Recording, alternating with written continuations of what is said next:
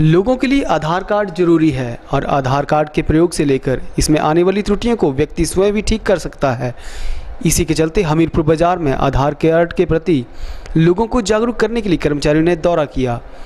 Hamirpur mini सचिवालय के बाहर आधार कार्ड में आ रही दिक्कतों के अलावा Aadhaar card update, Aadhaar app में कैसे काम करें, इन सभी बातों को लेकर लोगों को जागरूक किया गया। आधार कार्ड के फ़ायदों को जानने के लिए लोगों ने भी दिलचस्पी दिखाई है। आपको बता दें कि Unique Identification Authority of India के सहयोग से कर्मचारी लोगों को जागरूक करने के लिए ये काम कर रहे हैं, जिसके तहत हमीरपुर जिला के बोटा बड़सर, सुजानपुर, जाहू, नदौन इत्यादि जगहों में भी कर्मचारियों ने जाकर आधार कार्ड के प्रति लोगों को जागरूक किया है। आधार कार्ड के बारे में जागरूक कर रहे तालिक ने बताया कि यू के द्वारा लोगों को आधार कार्ड के बारे में जागरूक करने के लिए काम किया जा रहा है। उन्होंने बताया कि लोग अब अपने आप मोबाइल से ही एम आधार ऐप डाउनलोड करके अपने आधार कार्ड में त्रुटियों को भी दूर कर सकते हैं। उन्होंने बताया कि आधार कार्ड में खामियों को दूर करने के लिए लोगों को यहाँ वहाँ बटने की ज़रूरत नहीं है। उन्होंने बताया कि हमीरपुर जिला के सभी क्षेत्रों में जाकर लोगों को आधार कार्ड के बारे में जागरूक किया जा रहा है।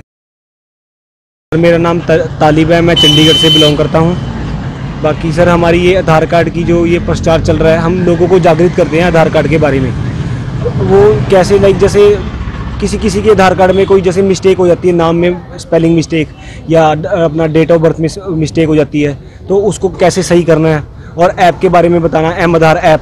उसमें जैसे आप आईडी बनाते हैं, आप अपनी एक फैमिली अपना तीन फैमिली मेंबर की आईडी बना सकते हैं एक ऐप में।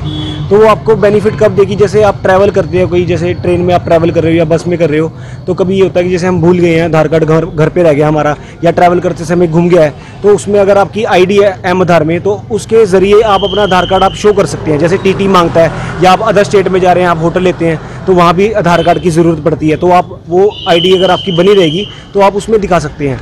और हाँ आईडी में ये एक बात बताना चाहूँगा आपका नंबर जो है, वो आधार कार्ड के साथ अपडेट होना चाहिए। क्योंकि उसमें एक ओटीपी आता है, जिसके ज़रिए आपका, जिसके ज़रिए आपकी आईडी बनती है एम आधार में।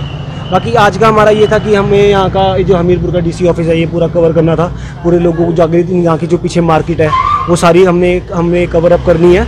बाकी और आगे भी जाना देखो भोटा चौक बाकी सारे हम ये पीछे से, बिलासपुर, फिर मंडी आपका, फिर सरका घाट सुंदरनगर, जाहू, आपका हमीरपुर, ये सारा हमने अभी पीछे से कवर किया है, इसके आधार कार्ड के रिलेटेड इसमें आधार कार्ड का आपको बताता हूँ, जैसे अब आजकल के जो न्यू बॉर्न बेबीज़ हैं, उनके भी आधार कार्ड बनने लगे हैं। उनमें ये रहेगा, जैसे पाँच साल का कम है जो बच्चा, उसका आधार कार्ड अगर बना है तो उसका अपडेट होगा पाँच साल के बाद, पाँच साल में, फिर होगा फिफ्टीन ईयर्स में।